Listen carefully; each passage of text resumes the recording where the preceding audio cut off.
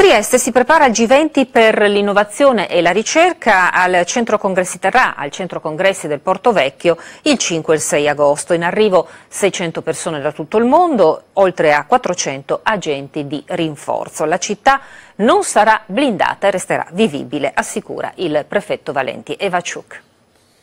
Transizione digitale e innovazione. La tappa triestina del G20 a presidenza italiana fa leva sull'industria 4.0, sulla blockchain per il tracciamento dei prodotti e la digitalizzazione delle aziende e delle città per promuovere la ripresa economica post-Covid. Una ripresa che abbia al suo centro persone, pianeta e prosperità.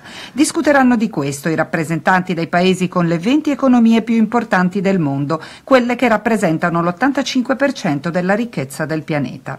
A fare gli onori di casa ai ministri per lo sviluppo economico Giancarlo Giorgetti e per l'innovazione tecnologica e la transizione digitale Vittorio Colao, che introdurranno il primo giorno dei lavori alla Trieste Convention Center, dedicato ai temi dell'identità digitale e alla regolamentazione per sostenere la crescita e l'innovazione.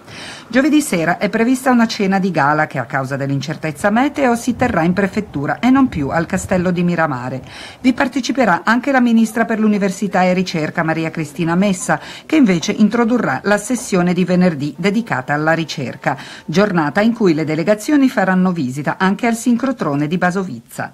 La città non sarà blindata, assicura il prefetto Valerio Valenti. L'unica zona interdetta sarà il Porto Vecchio. 400 gli agenti delle forze dell'ordine in arrivo in città per garantire la sicurezza. Se ne farà un uso discreto, ha precisato il prefetto, aggiungendo che il disagio durante gli spostamenti dei ministri sarà marginale.